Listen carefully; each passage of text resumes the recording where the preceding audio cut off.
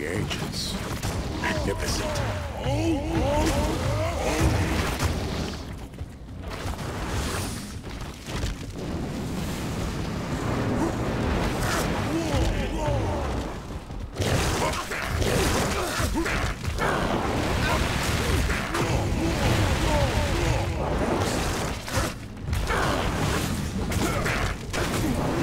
My brothers will not have died in vain.